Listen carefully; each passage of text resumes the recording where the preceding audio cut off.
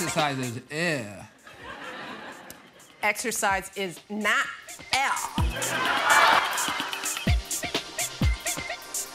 That's totally just got me an idea. Are you saying what I think you're saying? L.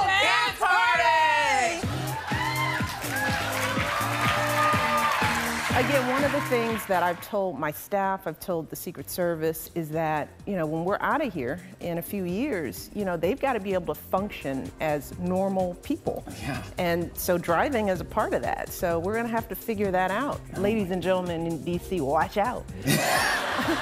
Uh, yeah. Leo Obama on the road. yeah, no, it's kind good. of frightening. I have security, so I'm good. You're good, yeah. But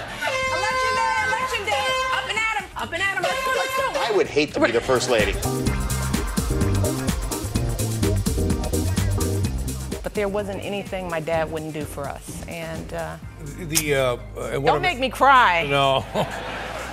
This isn't Oprah. it's supposed to be Letterman. Your hair's getting kind of thin.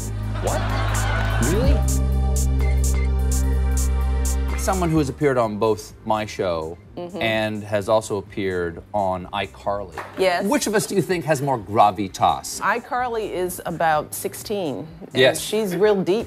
Is it hard though to raise a kid around Biden because oh you brought them guns like you know that kind of thing like is he is that tough? No, no, No, he's all right. no, he's a great vice president and All he's a right. great friend.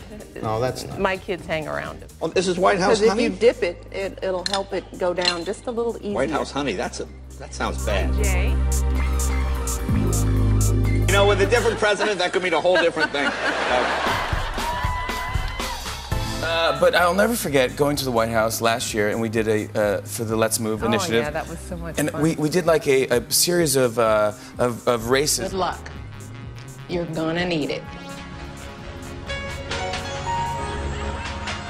And I beat you. Fair and square. I crushed you. You did crush me. Yeah, yeah.